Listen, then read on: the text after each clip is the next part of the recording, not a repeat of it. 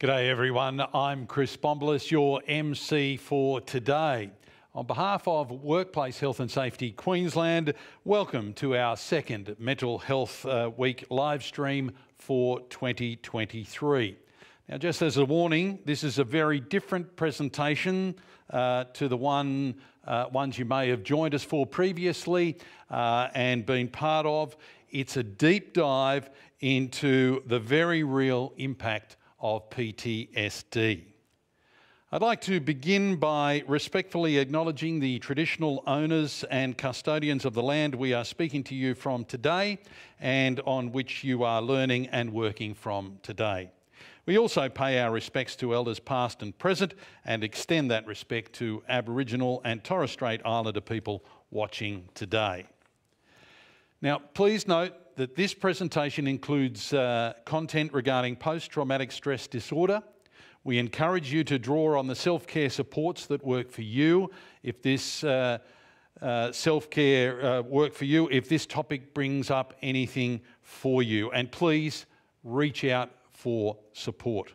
The session will also be recorded, so if you need to take a break, you can catch up on the recording at a later stage. As I said, this presentation is intense. It will be graphic, raw, real, and absolutely frank, and includes the actual emergency call that was made on the day. Now, in an emergency, please call triple O or visit your local hospital emergency department. You can also call Lifeline on 13 11 14. For more information on support services available or information on supporting someone in distress, please visit www.qmhc.qld.gov.au forward slash emergency hyphen contacts. And we'll also put this in the chat box, so uh, if you miss those details, you can catch them up throughout the presentation. Now, Mental Health Week is held nationally every October uh, to raise awareness of the importance of psychologically safe workplaces and contributes to driving behaviour and attitudinal change to reduce stigma and discrimination of mental illness. In today's session, our speaker will share his remarkable journey of surviving two gunshot wounds and dealing with the post traumatic stress disorder he experienced following that attack. He will discuss his road to recovery that included rediscovering passions for travel, skiing, hiking, and running. A little bit of housekeeping for you all. There'll also be an opportunity to ask Daryl questions at the end of his presentation, so be sure to submit them in the chat box. If you have any technical problems during the live stream, please make sure the sound on your computer is turned on, refresh your browser, and if that doesn't work, contact us via the live Q&A chat box. You can also change the size of your screen to full screen by selecting the four small arrows next to the volume bar at the bottom of your screen. It gives me great pleasure now to introduce Daryl Elliot Green. Daryl's love of helping others, adventure and fitness led him to join the Queensland Police at the ripe old age of 18.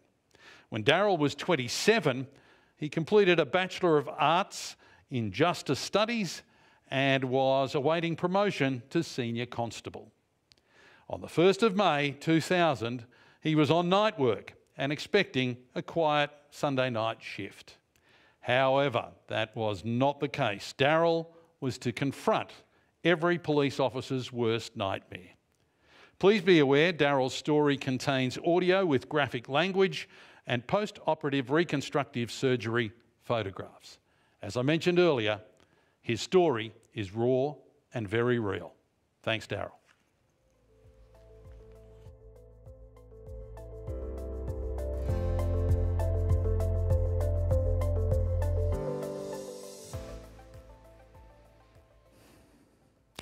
It's the 30th of April 2000, a Sunday afternoon, and I'm where every true blue Aussie loves to be in the Queensland sunshine, socialising with mates. A friend, Graham, he comes on over. Hey, Greenie, great afternoon, mate. Why don't you stay out? Take a sickie. I think to myself, oh, love to party on. Could I get away with it? Say I ate a dodgy kebab and had an upset stomach? I think further.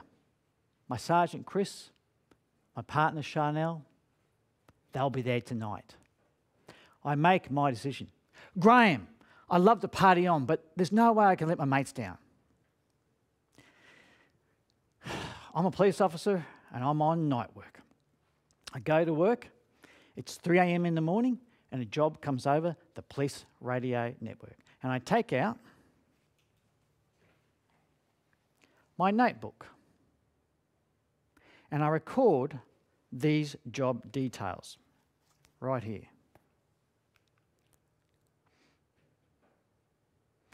Can you read that? Of course you can't. I have a doctor's handwriting. I know. I joined the wrong profession. This says we are to attend 16 Hanbury Street, Chermside West, in relation to words spoken six hours earlier. Those words were threats to kill, caused by a fallout over a $20 football bet.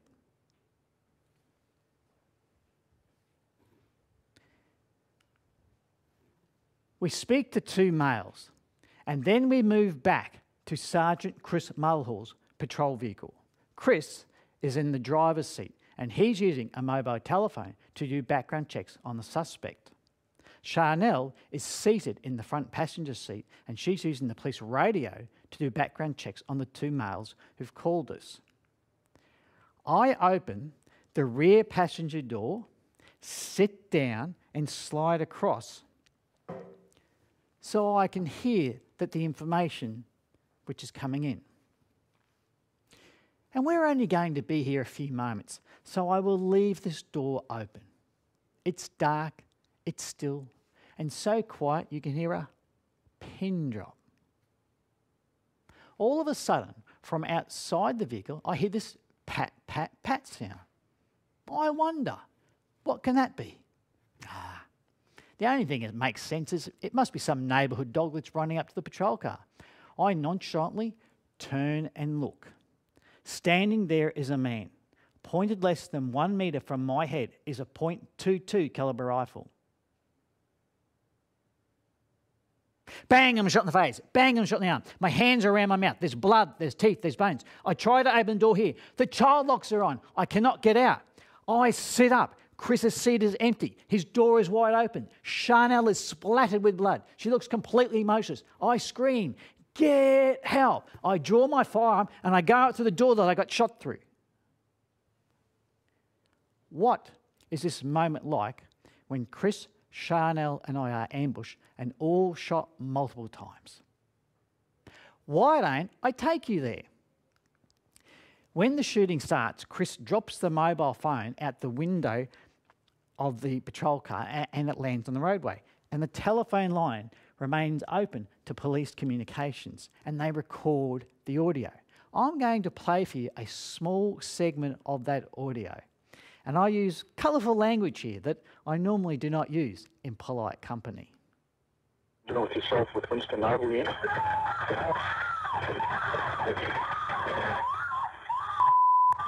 No, yeah.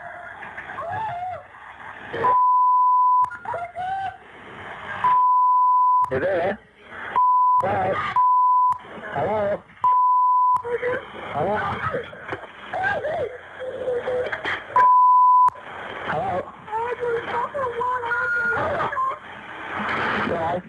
Back up 47, back up 47, please. Code 2.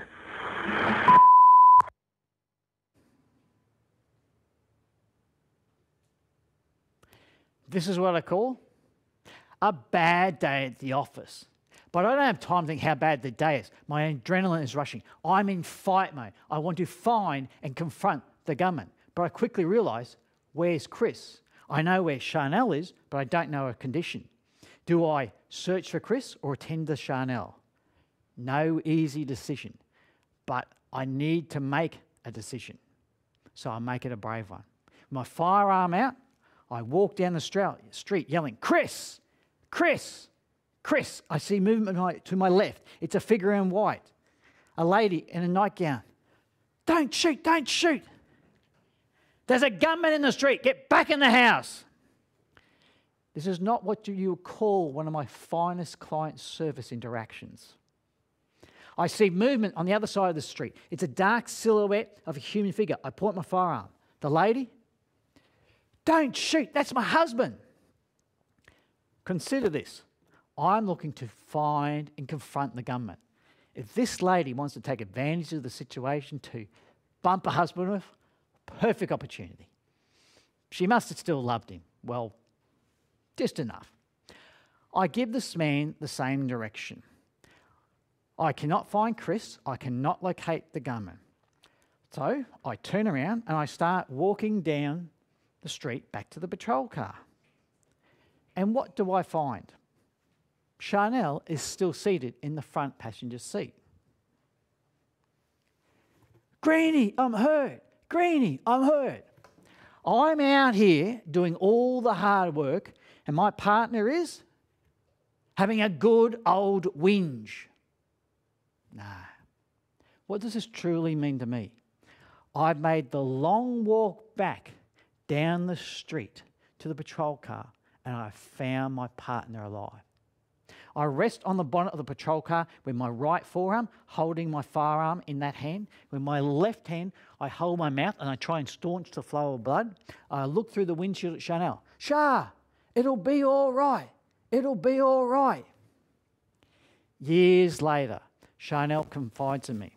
At this point in time, she's thinking, Granny, we don't know where the gunman is. We can't locate our sergeant and you're pouring blood from your mouth all over the bonnet of the patrol car. You are not very reassuring. Chanel is right. We are in dire straits, but words of encouragement is all I have. I stand guard over Chanel. The situation, the two men who called us are sheltering in the house. Chris, with two bullets in him, makes his way to a house with a light on, gains entry, and calls for backup. The first backup arrives a single officer, a very brave man. Senior Constable Brett Price. In fact, he's a bit of a naughty boy. He doesn't follow procedure. He doesn't stop his patrol car, go to the boot of the vehicle, open it, put on a ballistic plate, sorry, a ballistic vest, and then insert the ballistic plate. No. He wants to get to us as soon as possible and is expecting to find at least one dead officer. I meet Brett in the middle of the street and then we move over to the patrol car where Chanel is. She's tried to exit the vehicle. She's so badly injured, though, she collapses on the, the ground where the gutter is. We get down the ground, we form a small protective arch where we were ambushed from. The first ambulance arrives at the scene. I wave them to Chanel. Brett and I ensure she's the first one extracted from the scene. More police arrive. And then the next ambulance turns up in Hammer Street and they park at the end of the street and they're talking to their communications at Queensland Ambulance asking for a corridor of safety. And this is just not possible to provide with the limited police resources, the darkness, and the gunman on the loose. And eventually, they are convinced the safest place to be, rather at the end of the street, lit up like a Christmas tree, is up where the armed police are, where we can provide some protection. They come over to me, pat me down for my injuries, and then place me on a Guernsey, place me into the back of the ambulance. We are then driven to the house where Chris has taken shelter. He comes down the house, he enters the back of the ambulance, and he says, Greenie, do you believe this? And I say, no. The next thing Chris says, wow, that's a big needle. I'd like to thank the Queensland Ambulance Service for the finest hit of drugs I've ever had in my life. I'm given a massive needle with some very strong drugs, which takes away the intense pain that I'm feeling. A massive manhunt now commences. Brett sets up a forward command post, and for three weeks, Brisbane is on edge as we search for the gunman. There's no sign of him. Eventually, a breakthrough. A combined police and SES search find the, the gunman's body in bushland, two kilometres away from where he was shot. The rifle he attacked us with, he used to take his own life. Injuries. My head wound is deemed to be the most serious, so I'm the first one that's rushed to the operating theatre, and surgeons take three hours to extract the bullet from my head. My father visited me in intensive care, and he said to me later, Son, I could hardly recognise you. Your head had swelled to the size of a melon. This is me when I've come out of intensive care and transferred to a ward. I don't look too bad. You can see where the first bullets hit me in the face. It's, I have a small nick. The second bullet, they sliced into my arm and pulled that round out, and I've had a tracheotomy to help me breathe. But what damage did that first bullet really do? This 3D animation shows the impact of that first round.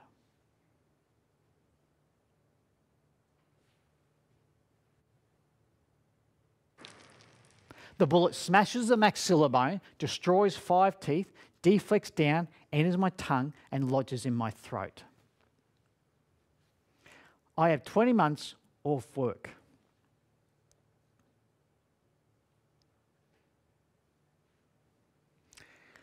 I have 20 months off work.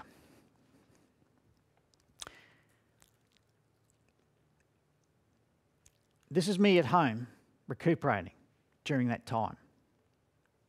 Some colleagues, now, look at me.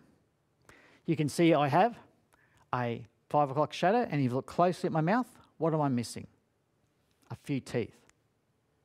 Some colleagues looked at 20 months off work, a few missing teeth, and make a snap decision. Old Greenie, he's having it easy. I will sh- show you what I was going through in that 20 months, and you can make up your own mind if I'm having it easy or not. What is the impact on my mental health? Well, initially, I'm stunned and dazed. It's like winning gold lotto, but on the other end of the spectrum. You mean to say that I had a rifle pointed at my head, was shot in the face from less than a metre away, and I'm alive here today with you to tell the tale? Pretty incredible. I learned my body is not bulletproof. I'm about to learn that neither is my mind. I am, in fact, walking along the edge of a cliff.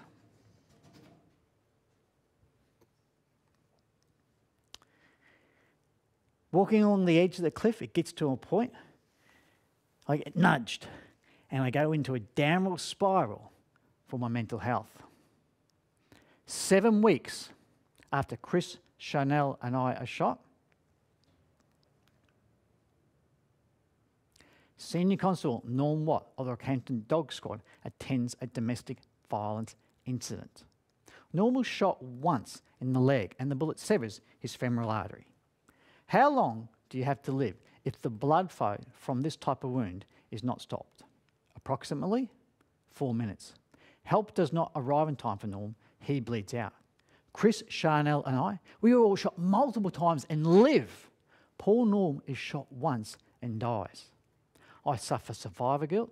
My subconscious starts to question my mortality, and this triggers in me the full fury of post traumatic stress disorder, PTSD. I try to do the simple things like I did before a shot, like go to a night venue with friends, sit in the corner, and enjoy a quiet drink. All of a sudden, my heart races, my pupil dilates, I'm extremely agitated, I have an overwhelming thing. I've got to get out of here. I've got to get out of here. What the hell is going on? Later, I learn through professional help the flashing lights at the night venue causes my subconscious to recall the rotating red and blue police lights from the night of the shooting. This triggers danger for my subconscious. My body goes into survival mode. I have to leave the venue to calm down and recover. I think I'm going crazy. There's something wrong with me. So I tell no one. But then I recall another officer that I'd worked with, Brad Britton, a few months before I was injured. I'm on patrol with Brad, and I turn to him and say, Brad, that pursuit that you were involved in, and when the car did the U turn and drove at you and had to use your firearm, mate, what's going on with that?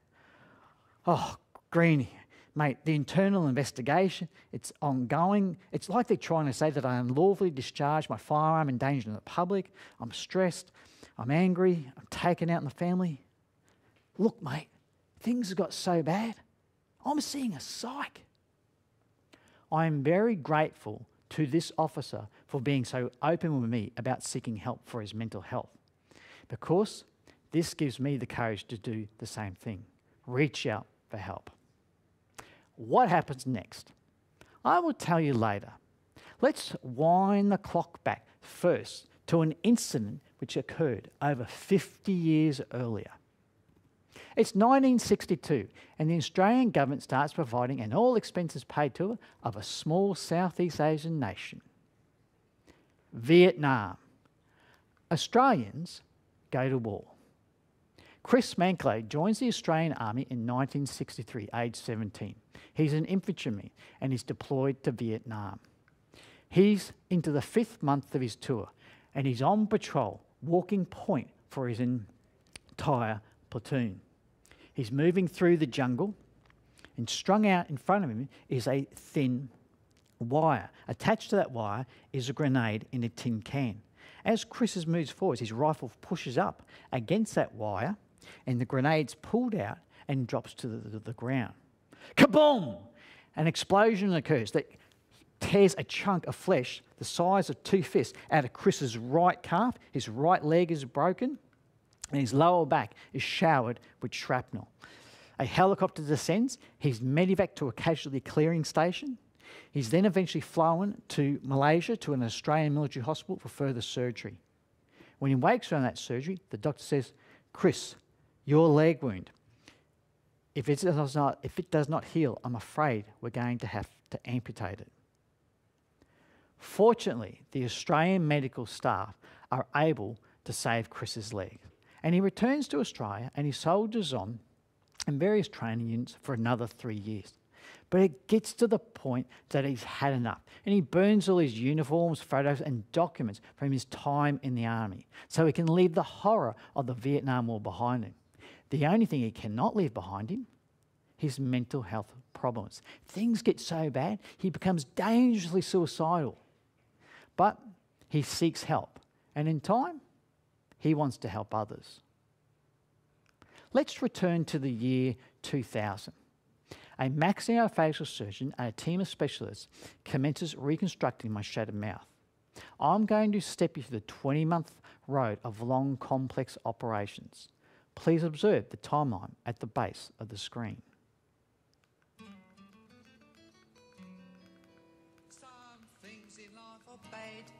Can really make you mad.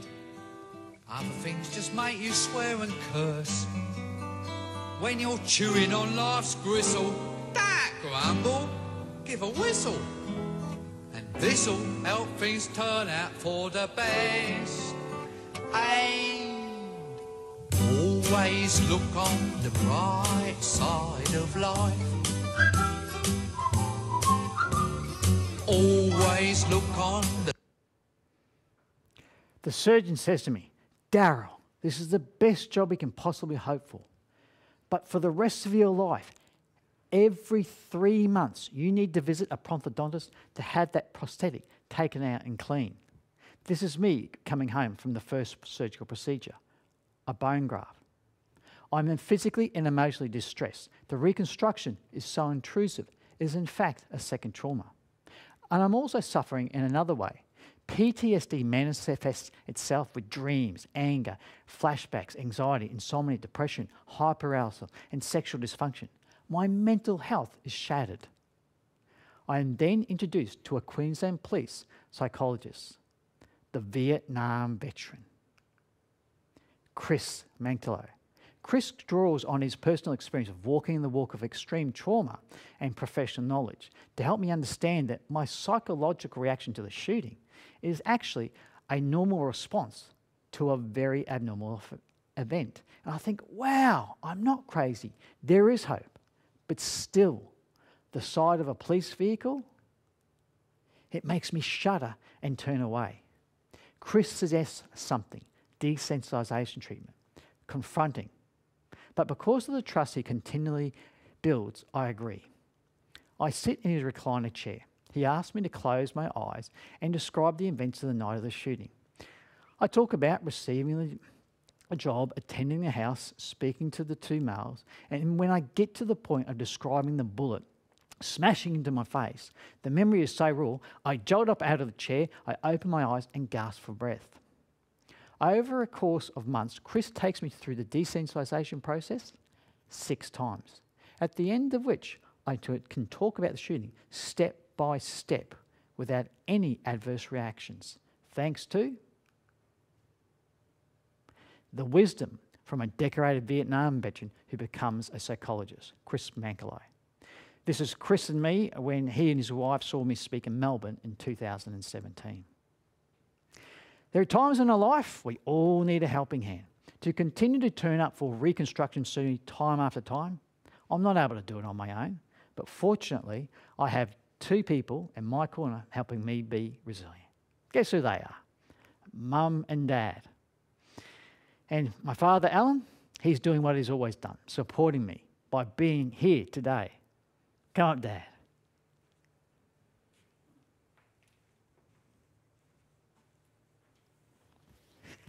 Love you, Lord.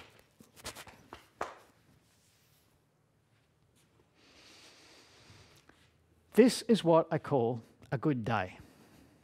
It's 2001. I'm still missing teeth, and surgery is continuing. This day, I'm with my two greatest supporters, Mum and Dad.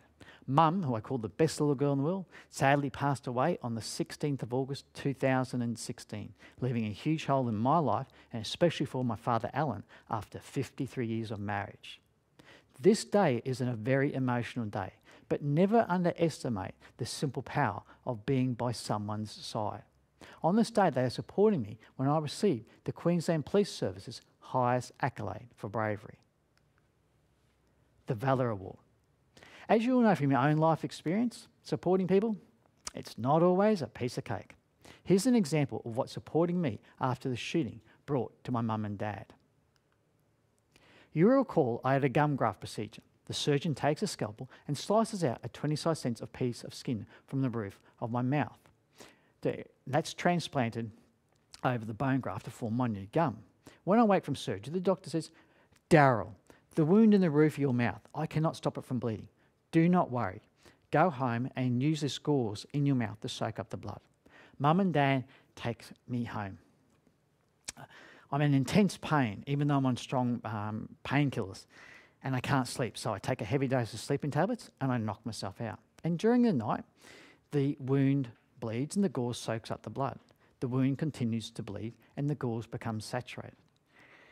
My father wakes in the morning He's walking down the hall and he sees me in my bedroom at the corner of his eye. He turns and looks and, and he sees that the white t-shirt I'm wearing, it's covered half in blood from my neck to my stomach. He thinks I've bled out. He rushes over to me and shakes me and he wakes me, much to his relief. Mum and dad have to help me from the bedroom to the bathroom, get the shirt off me, and help clean off the blood that's congealed on my chest. This is just one example of what the shooting brought to my two greatest supporters who was helping my resilience. And there was a lot more to come. It's 2002. The reconstruction is complete. My treatment for PTSD is continuing. Decision time. Can I put this back on and return to policing? I'm very fragile psychologically. I cannot return to the type of policing I've been doing, general duties, tending domestic pub brawls and chasing thieves. I weigh my options. I look at finding an area in the police where I can utilise other skills. The photograph in hospital with mum and dad, you could not see what was on my lap. But in this photograph, you can. It's a computer magazine. I love my IT. Where can I use these skills? Right here. Task Force Argos the Queensland Police team that investigates internet pedophilia.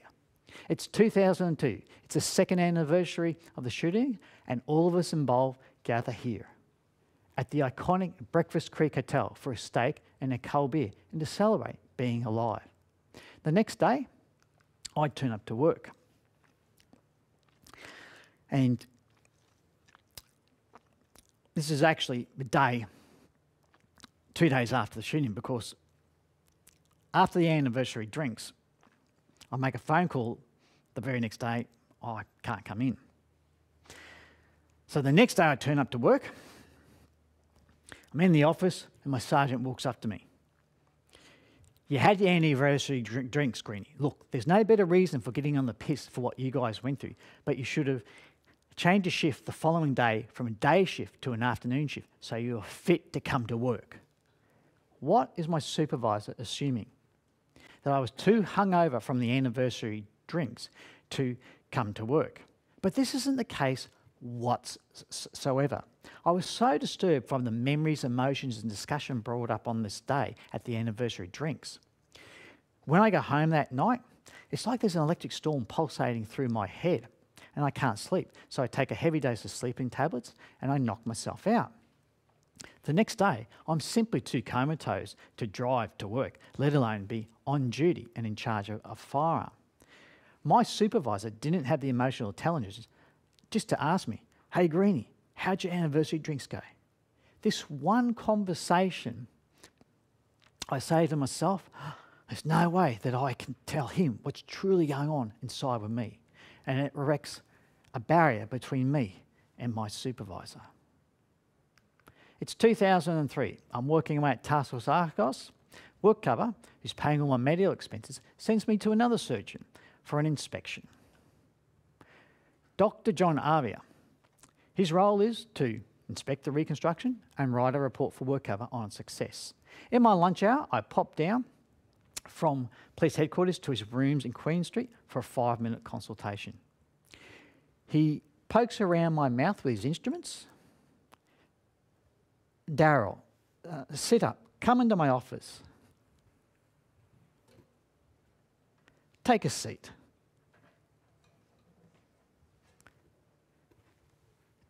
Daryl, you were just sat in my chair. What you have in your mouth, I could not clean with my instruments. There's no way that you can clean it. You're at risk of septicemia, blood-borne disease. It's very dangerous. I'm sorry, but your reconstruction has failed.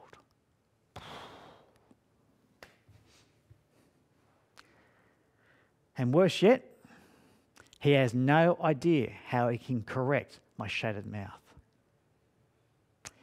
This is what I call a bad day at the dentist.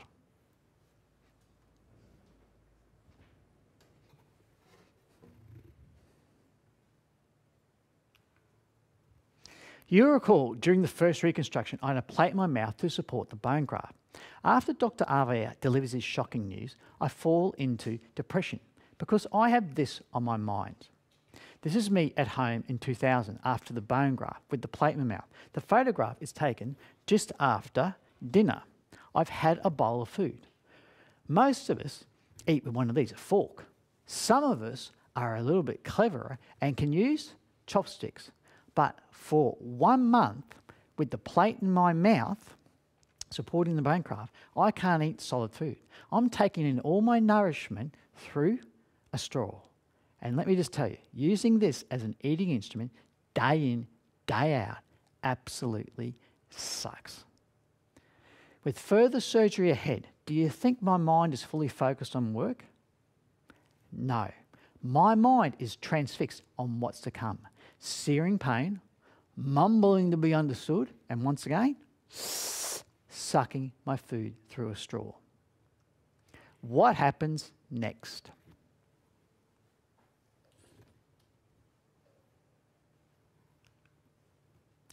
Motivation, criticism from my colleagues.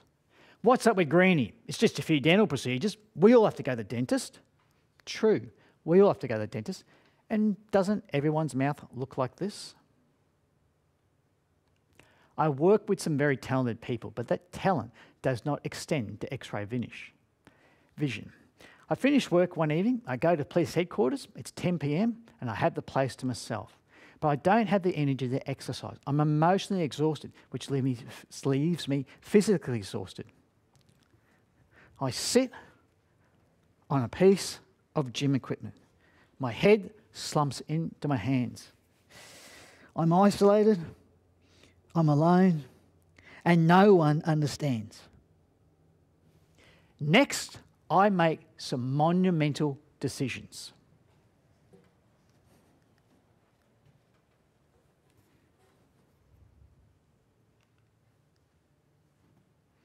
I have no police career.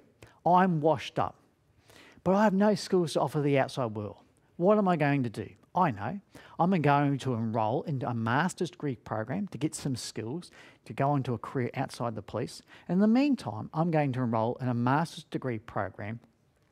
Um, sorry, I'm going to enrol in a master's degree program and I'm going to look at uh, finding a desk job in the police, and this will be conducive to study. Finally, on my third application, I'm successful at obtaining a sergeant's position at the academy. But before I can take up that position at the academy, it's time for surgery. Dr. John Arvour and a team of specialists attempt a second reconstruction of my mouth. I've just woken from surgery. What I go through, I'm disturbed by. You see, I get a little bit up frustrated when I'm laid up in bed for four days with a cold.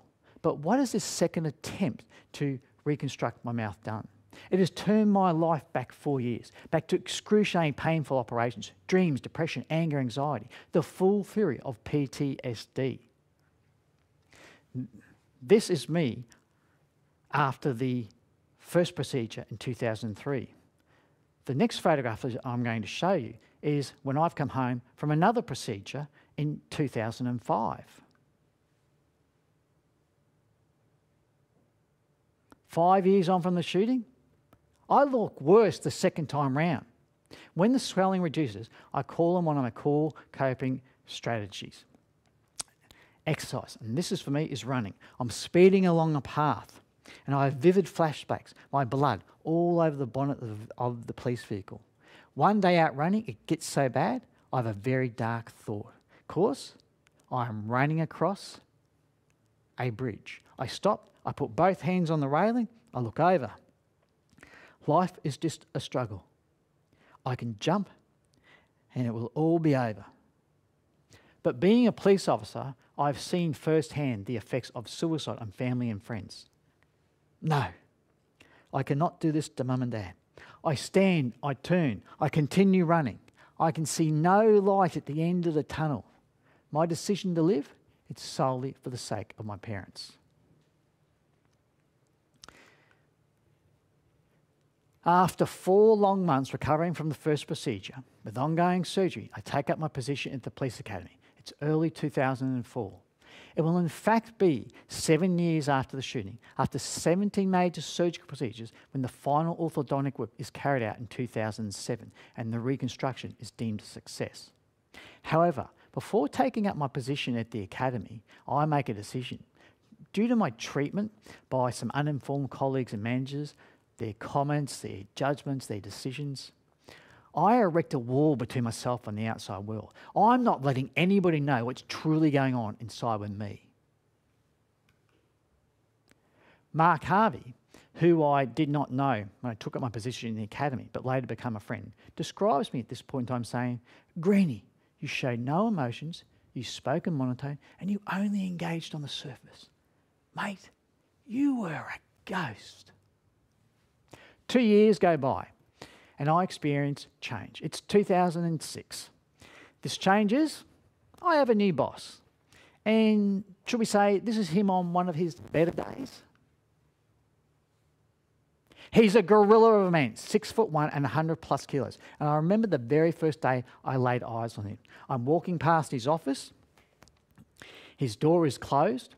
He's intensely looking at a piece of paper and we are separated by a pane of glass. He looks up, our eyes lock, and I think to myself, I've had some insensitive treatment from management before. What the hell am I in for with this gorilla of a boss? This is an example of his style. Paul Trinder and I worked together as young constable at Brisbane City Watch House. He's now a recruit instructor, and he says to his boss, I know Daryl. I wonder if he's got any value to offer by speaking to my recruits about the shooting.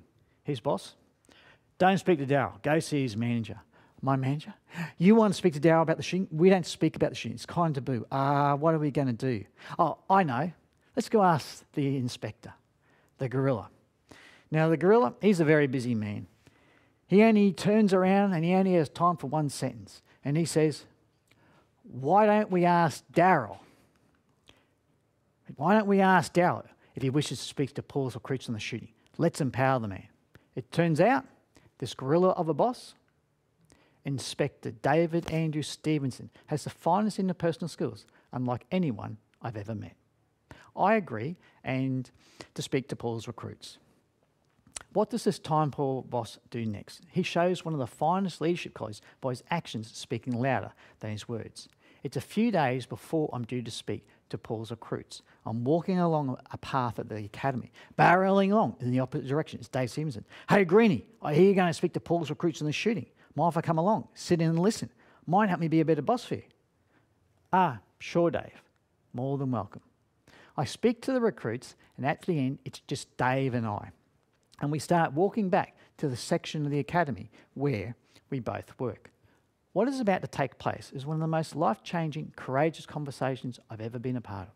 Greenie, as the audio of the shooting played, I didn't look at the tape player like the recruits. I looked at you. Do you mind telling me what you were thinking? Oh, Dave, it's raw, it's hard, it takes me right back there, but I think it's valuable for the recruits to hear it so they understand the gravity of the situation. I see, and how are you going in life? Oh, Dave, my life? Well, Dave, my life, it's a two hour commute each workday from home to the academy and back, study on the weeknights, study on the weekends. There's not much, Dave, there's not much joy in my life. On this day, Dave Stevenson starts a long process of building trust with me. And over the course of time, he's going to build more and more trust. And this is going to enable him to positively influence my decisions. I didn't know it at the time, but this is going to play a profound part in my to my place in the workforce. In 2003, I committed myself to five years part time study and full time work. Finally, it's 2008, and I've accomplished the greatest intellectual feat of my life. I'm ready for a new career outside the police because I have an amazing new set of skills. I've earned a master's degree in finance. How do I feel? What's going on in 2008? Who remembers this? The global financial crisis, the GFC. There are no new jobs in the finance sector. They're laying off people left, right, and centre. It's like I've saved for five years, I've paid off my taxi license, I'm ready to start my own taxi business, and along comes Uber. I fall into a slump. One of Dave Stevens' simple supported leadership strategies, each day he tried to talk to members of his staff about something that's not work related. Mike Wallace is a multimedia developer. He's English and a mad Crystal Palace football supporter. After the weekend, on the Monday, David come over. Hey, Mike, how did your team go on the weekend? And Mike had launched in how the latest game played out. But Dave's, as Dave's listening, he's also gauging how Mike's going at home, at work, and in life generally. And there's days he speaks to me, and I don't say much. But because of Dave's keen emotional intelligence, he sense something's just not quite right. And he says to me, Hey, Greenie, I'm going out to the Oval for a smoke. Will you mind keeping me company? We go out here to the Police Academy Oval. Dave has a puff. And what's bothering me, I can share with him and receive some wise advice. And on this day, I shared him what the GFC had done to my future plans. And he says something to me, and it plants a seed. But with that seed, something else comes to the forefront a fear. This is my police service firearm Glock. I'm highly protective of my safety. After the shooting, I've definitely dealing with confrontation, especially violent confrontation, and anything to do with firearms. To act on that Steve Dave's plans, it's, I need to make a brave decision. I need to do something about this fear. I need to try to overcome it. How will I attempt to do this? I'm going to apply to become a firearms instructor. But Dave Stevenson is my inspector. He can knock the application on its head, fearing that, oh, if Greenie reacts adversely to that course, it could reflect poorly on me. But because of Dave's supportive leadership style, the trust he builds, the courageous conversation, he makes a brave decision and he backs my application.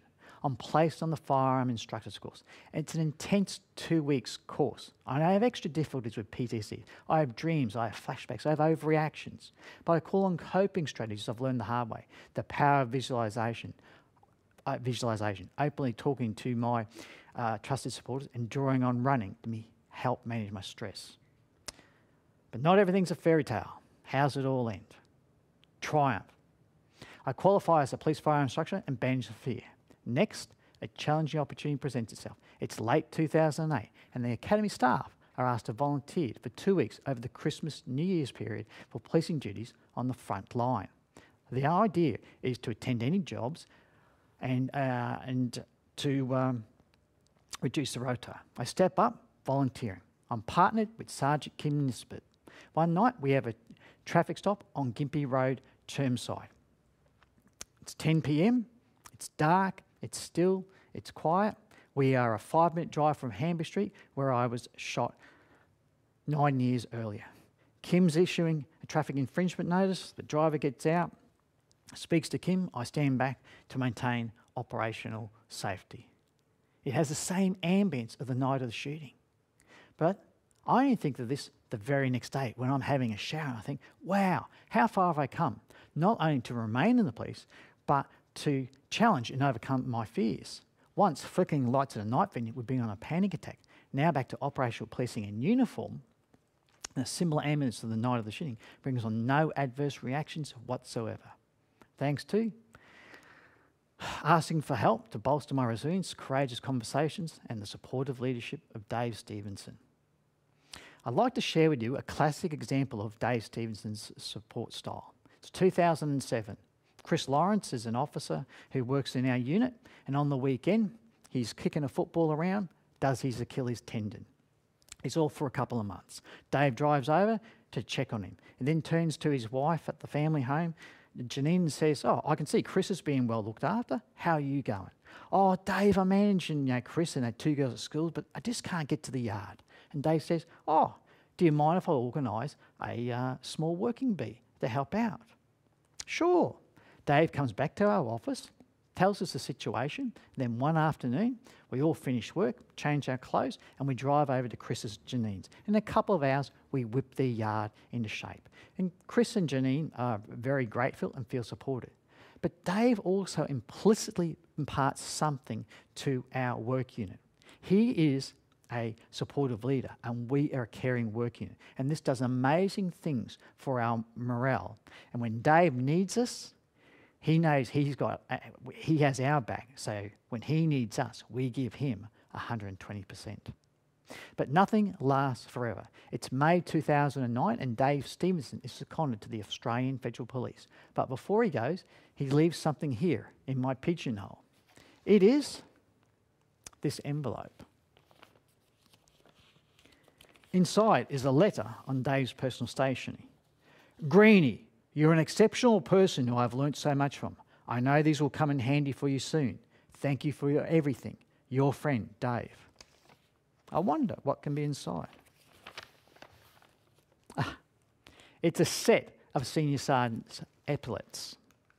The Steve Day planning on the Oval, when I confided what the GFC had done to my future plans, he said to me, Greenie, you may not realise it, but you make a great senior sergeant and you're ready for promotion.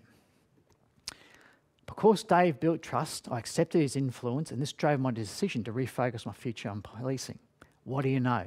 The big fella was right.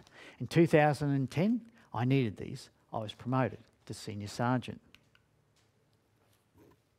I serve a further 20 years in the police after the shooting, and this is thanks to, in no small way, this man and his supportive leadership style. Dave Stevenson passed away from a heart attack at work on the 7th of May 2013.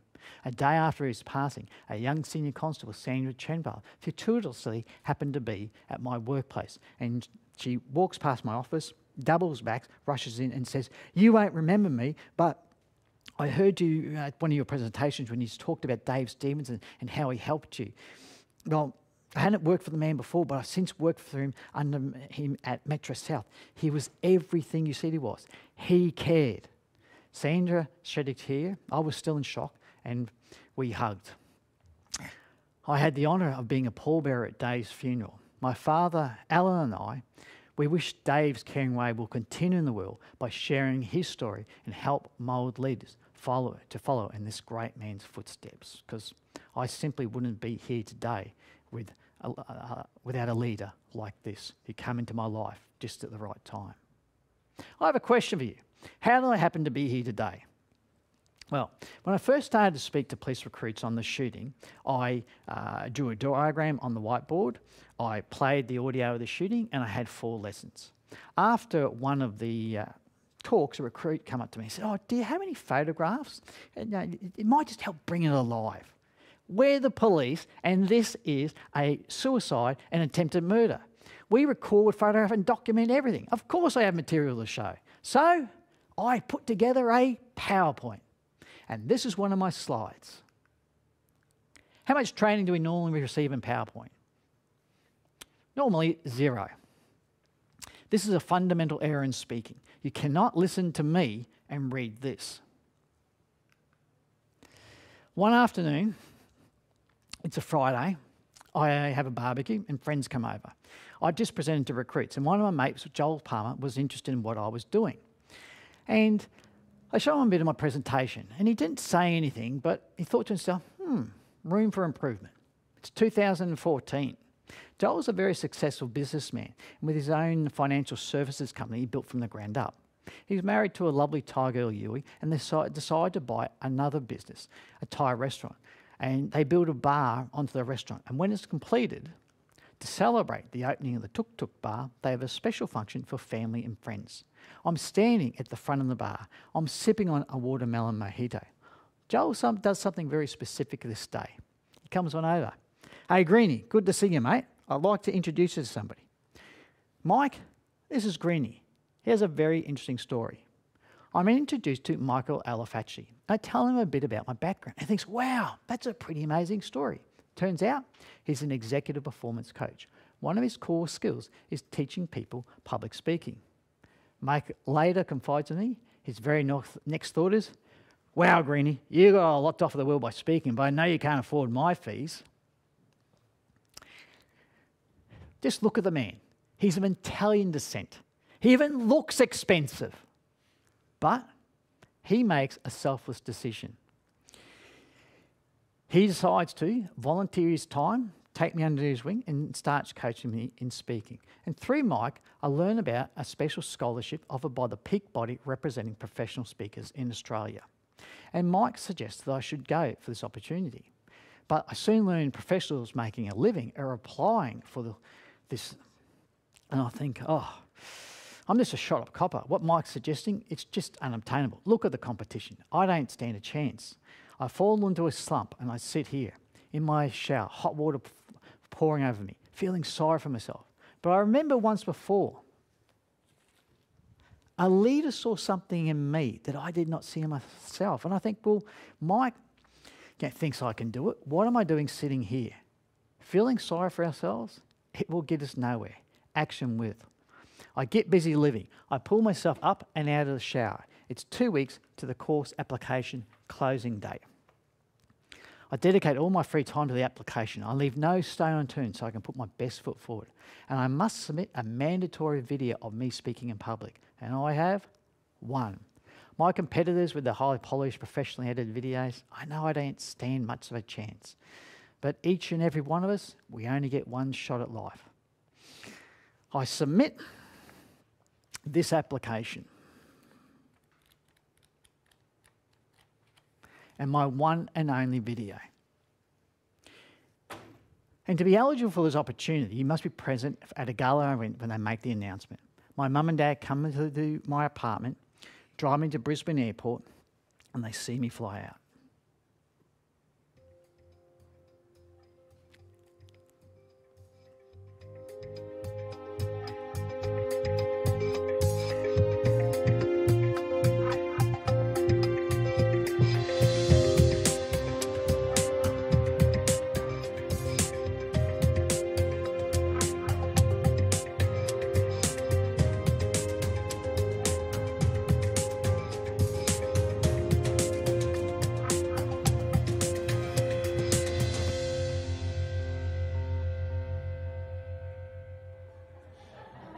So our 2015 Scholar specialises in leadership and resilience. His proven commitment to community includes more than two decades with the Queensland Police and a reward for hmm. valour for his actions in protecting a fellow officer despite being seriously wounded himself. Please help me congratulate Daryl Green.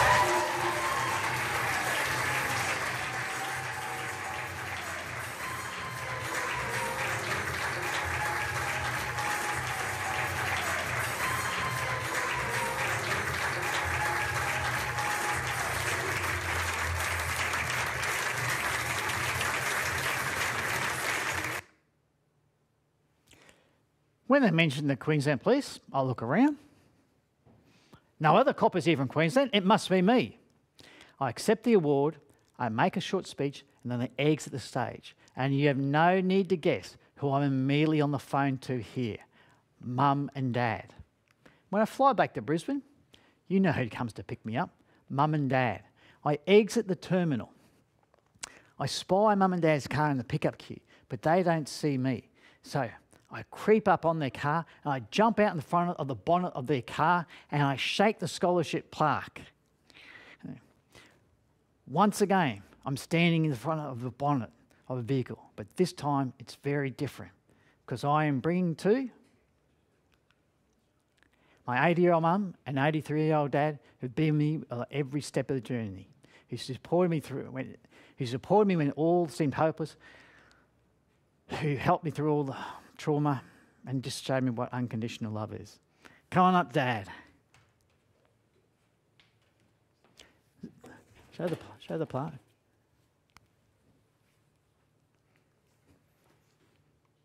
Love you, block. After 15 years, horrendous, horrible, and terrible pain, I was bringing something good directly stemming from the shooting to my parents. Love you, block.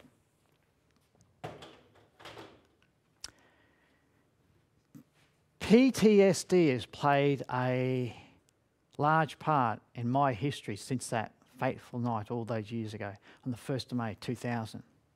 But the Academy, I was taught nothing about PTSD. What we did have was case studies. And uh, one of the case studies was um, actually a video, and it showed how mortally wounded offenders had the ability to carry on the fight and kill police. PTSD was, in fact, not only taboo, I'd say it was, had a stigma that, oh, you're after a payout. Most people have learned about PTSD by a different name. Shell shock, coined during the First World War. After I was shot, I was given this book called Shell Shock, put out by the BBC. And I learned from this the first recordings of PTSD is by Greek poets who recorded their soldiers at sleep, their dreams, their nightmares, and their screams from reliving their battles. Ancient Greeks called PTSD divine madness. In 1878, a Swiss military physician called it nostalgia. German doctors, they had another name, Heimweh or homesickness.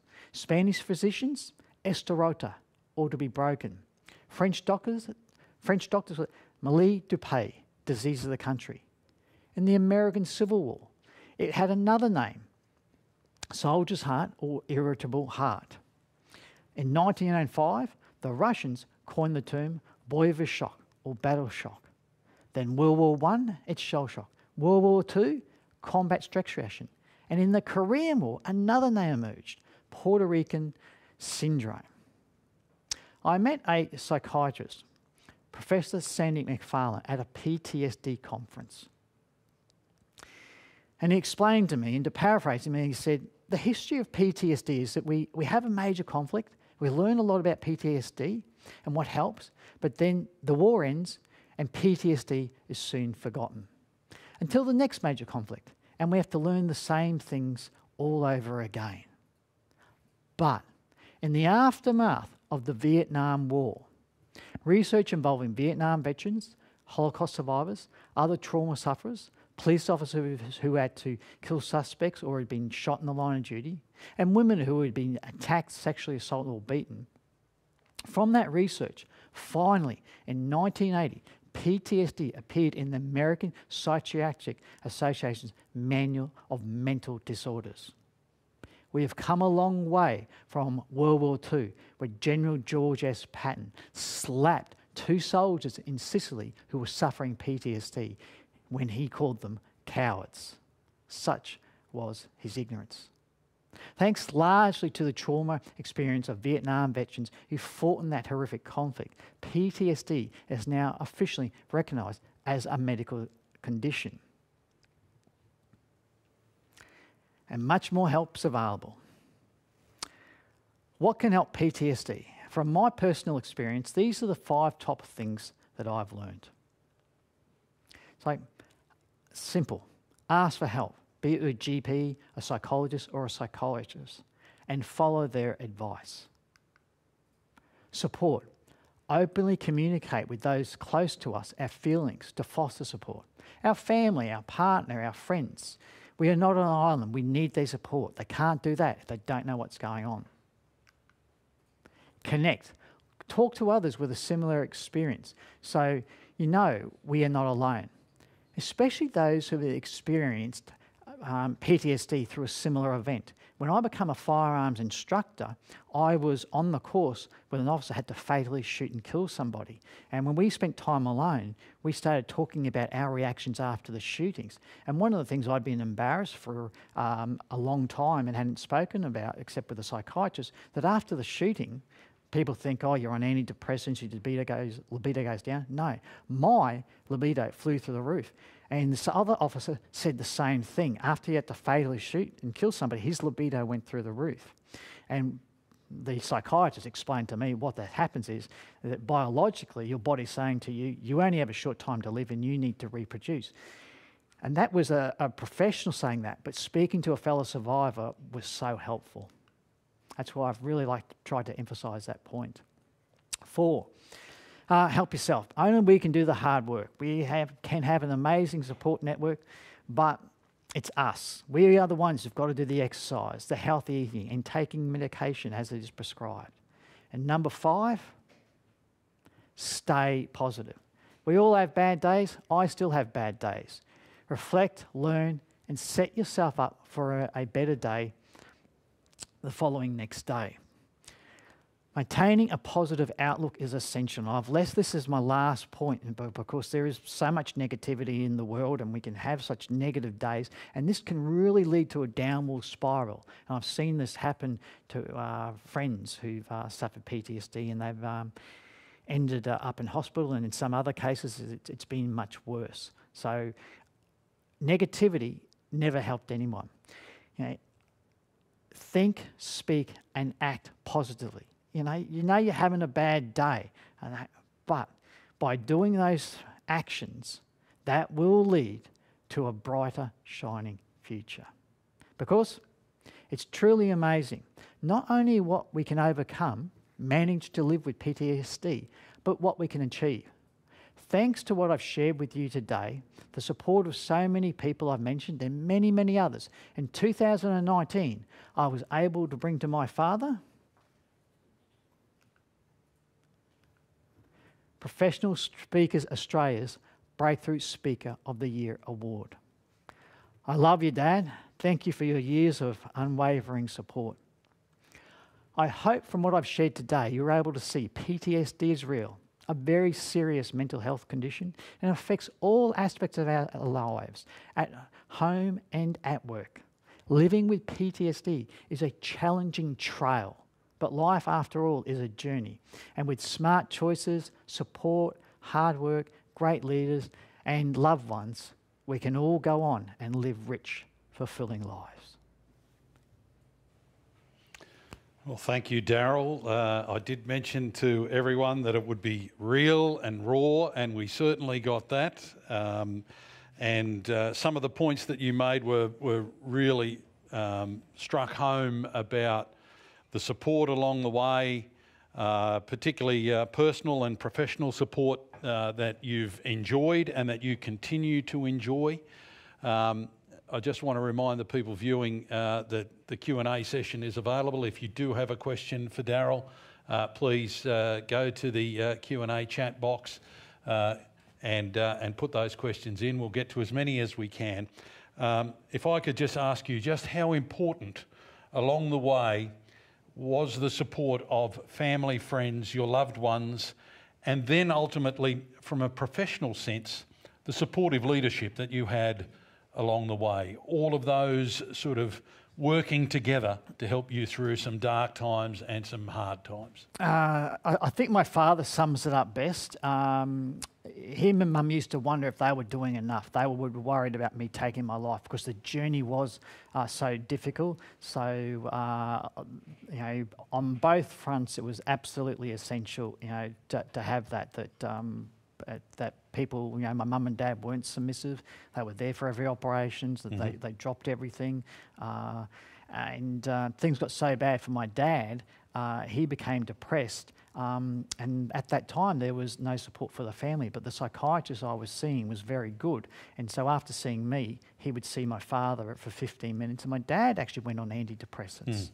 Mm. Um, so that enabled dad to keep going to help keeping me uh, supportive. Having friends who were uh, not uh, dismissive of, of, what was going on, and I did have some of those. It's, it was, you know, quite unbelievable. Oh, you know, you're still going on with the shooting. And it's like, well, the operations aren't even over. you know, so it, it, was quite amazing. So I stayed away from yeah. those negatives. And on the work front, well, work plays a huge part in everybody's life. And this was a work-related uh, injury. And so I experienced, uh, again, both um, the, the, negative and the, the boss when I was at uh, Argos and I had the day off after the anniversary drinks.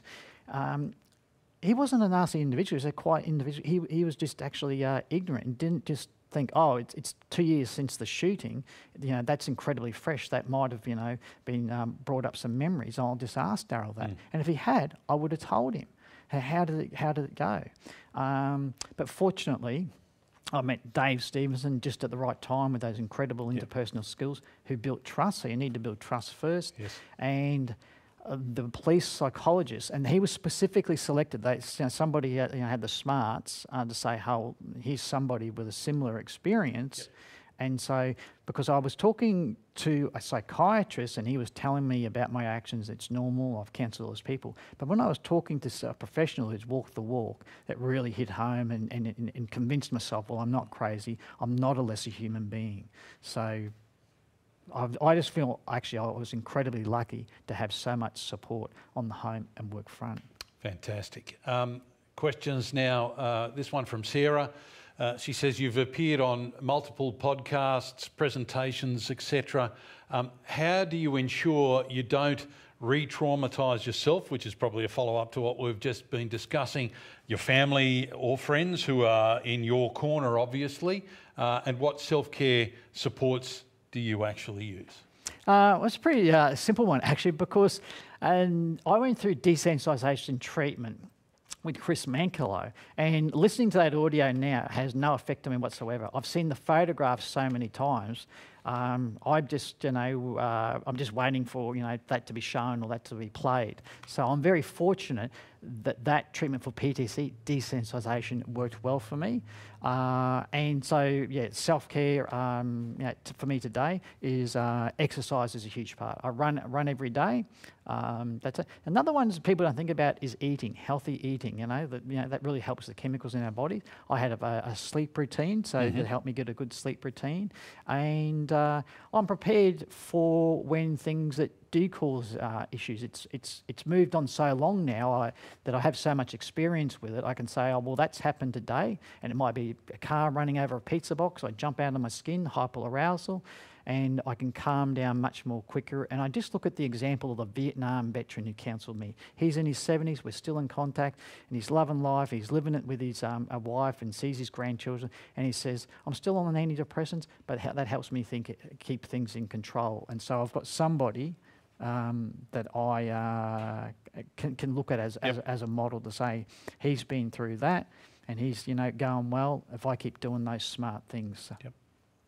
Um, Sarah, uh, thank you for your question. Marty now asks, uh, how might an employer or colleague recognise the PTSD signs uh, in someone and hints for co-workers to assist to be positive uh, with a colleague that is suffering from PTSD? A lot of people are, are very private about it because it still has a stigma. So the, the first thing is to, to build trust.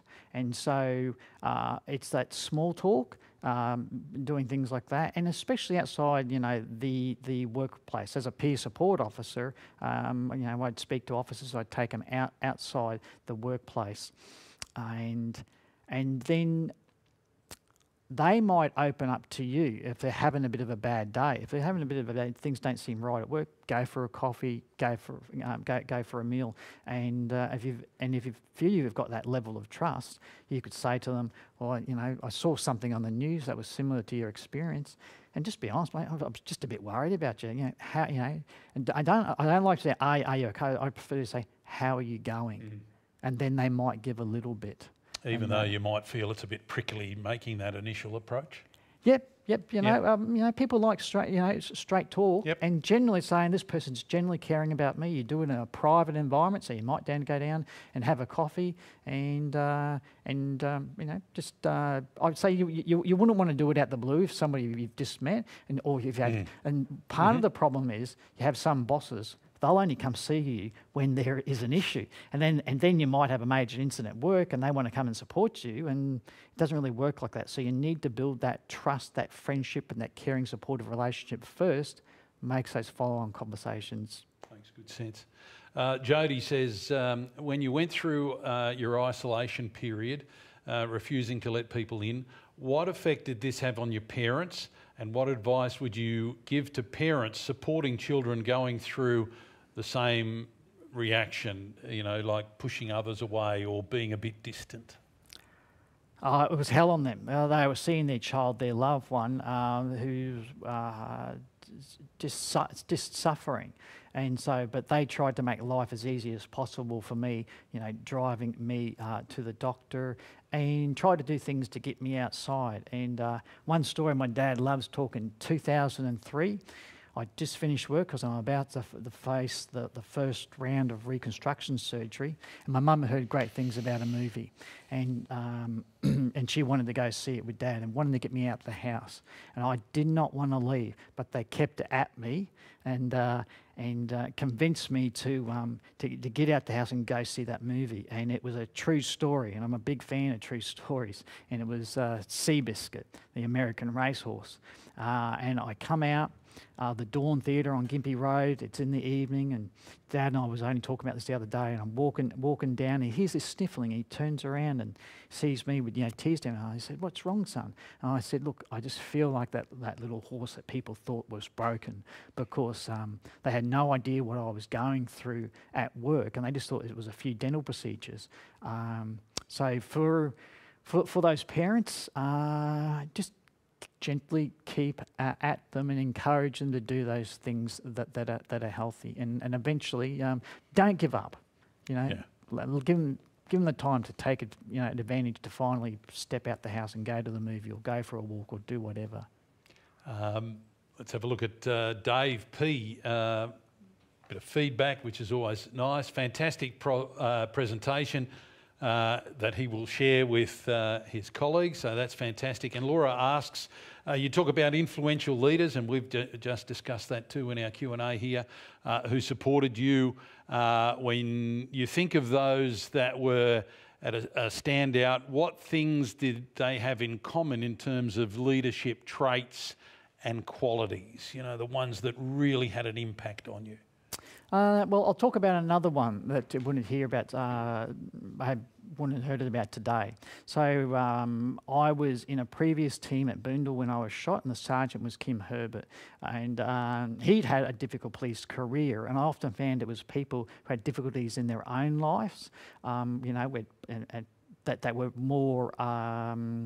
Compassionate. And so after the shooting, he called into my parents um, while he was still on the road operational, uh, working in a Boondall, every, um, every month to check on my parents to see how they were going. So the number one thing that I would say about Kim Herbert, um, that sergeant, and Dave Stevenson is that they were um, emotionally intelligent and were compassionate and could put themselves in the foots of, um, of other people. And if they didn't know about something, they'd actually, you know, talk to the person, look it up, and learn about what they were going through. One of Dave Stevenson's things he hated other uh, people who were very dismissive of what people were going through. Uh, and so, and I'll give you a classic example. Um, we had somebody in our office who had a fall at home out of, out of um, you know, work hours, had a head injury. He was in hospital for three months. And, that, and Dave, because he was aware of his life circumstances through these you know, small chats, his mum couldn't drive. So he'd ring Marie and say, Oh, Marie, I'm going to see Trevor in the hospital. Would you like me to come pick you up? He'd go pick up his mum, gave his him in hospital. The unfortunate thing, and people have asked this of my dad, and you would have seen those photographs there of me in hospital, me at home, and that. And uh, the, the bosses didn't have an idea what I was going through because after the initial shooting, no managers came to see me uh, in hospital or at home. I was forgotten about. So, but Yeah. Dave Stevenson, he did. Uh, PM asks, have you kept in touch with your partner and Sarge from that fateful night? I have, yes. Yeah. Yeah. Are you, do you guys share a special bond?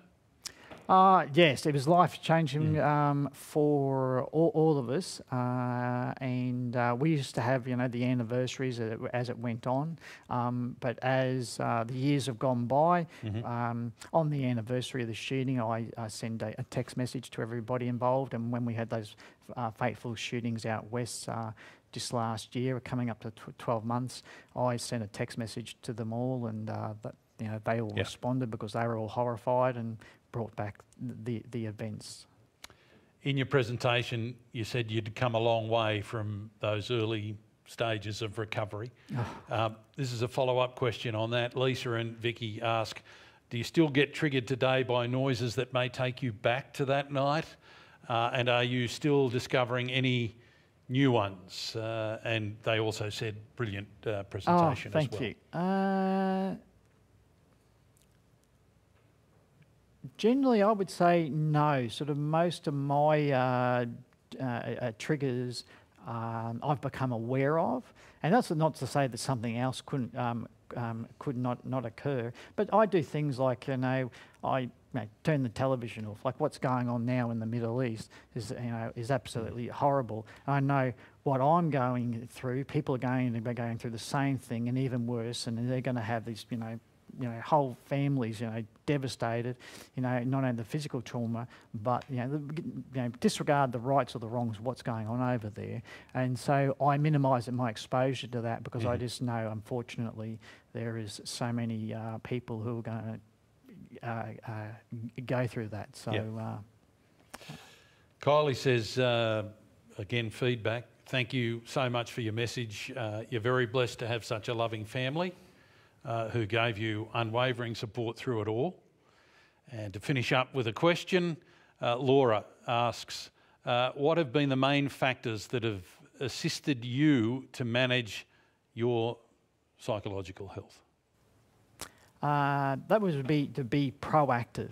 And uh, in the early days, I suffered depression. I'd lie in bed, and uh, you know the, the the sun had come up, and I'd see the light, and I'd roll over. I just didn't want to get out of bed. But I then went on antidepressants, which helped manage that. And I'd, I'd realised that, that you know sitting on my backside wasn't going to help me. And then so I tried things to see what worked. And so for me, in the very early stages, it was simply you know I had a basic list that I'd do the night before, you know, which was that simple. I was going you know make bed, um, you know make coffee, make breakfast, um, you know do grocery shopping. I started with small lists that got bi- Yep. bigger, bigger and bigger. Then that included um, exercises, but it was realising uh, what what worked and what didn't work, uh, and and then doing more of what worked. Daryl, as we wind up, thank you so much for sharing your story, uh, warts and all, I might add. Um, one of the best ones I've had the pleasure of being part of. I'd like to share uh, on your behalf, if I could, some information about PTSD and new pathways. Uh, for the first responders who may not be aware, on May 2021, workers' compensation laws in Queensland were amended to include a new presumptive streamlined pathway for first responders and eligible employees diagnosed with uh, PTSD. First responders and eligible employees diagnosed with P- uh, PTSD can now access a streamlined pathway to make a workers' compensation claim. The new pathway means they will not need to prove their PTSD was caused by work. Due to the nature of the uh, work they do, first responders and eligible employees with diagnosed PTSD uh, will be considered to have a work related injury unless there is evidence to the contrary. Uh, it will also uh, limit the need to discuss the incident that caused their PTSD or recount past traumatic incidents they have endured throughout their careers. The amendments uh, are detailed in the Workers' Compensation Rehabilitation and Other Legislation Amendment Act 2021. Uh, came about in part as a result of the increasing awareness of the impact of mental health uh, from trauma exposure experienced by many first responders and the importance of supporting their mental health and well-being. These new presumptive laws do not change existing uh, workers' compensation entitlements, but instead provide a different pathway for lodging workers' compensation claims by reversing the onus of proof. This means that a first responder's uh, this means that a first responder's or eligible employee's PTSD is deemed to be work related unless there is evidence to the contrary. Uh, for more information on this, uh, visit worksafe.qld.gov.au. Finally, we'd also like to highlight a valuable resource, a national free and confidential mental health support for emergency service workers and volunteers. The confidential service is for uh, fireys, police, uh, SES, ambulance, forest uh, fire management, licensed wildlife rescuers and carers, marine rescue, and all other emergency service workers, volunteers, and those retired. We will pop the link in the chat uh, if you'd like to learn more.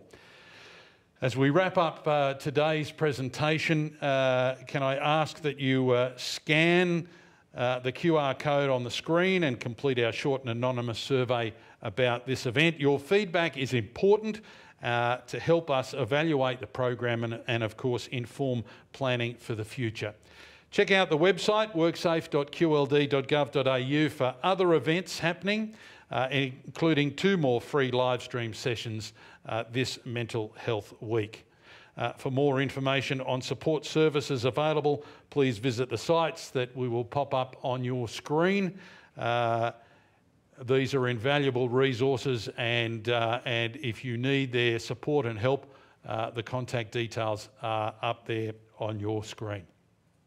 Can I say finally, uh, thank you very much again, uh, Daryl and Alan, for making a cameo, a couple of cameo appearances during the presentation. Uh, it was insightful, it was raw, it was very real, and, uh, and hopefully uh, to the viewers, it's made a real impact. Uh, on behalf of Workplace Health and Safety Queensland, thanks again for joining us for our special Mental Health Week presentation. And, and as always, work safe, home safe.